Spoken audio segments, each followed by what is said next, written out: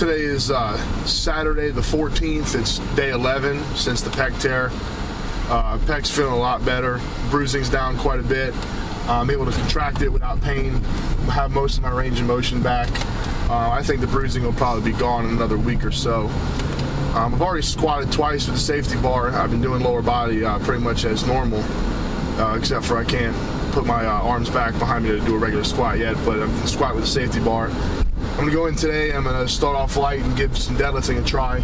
Um, see if it doesn't irritate this pec. We'll probably go pretty heavy, uh, and then do some squats after that. So, still optimistic. Uh, healing pace is coming along great. So, gonna probably go get some more ultrasound uh, treatment to the pec on on Monday, and then as soon as this bruising is down, I'm gonna start getting some deep tissue work on it to break up the scar tissue.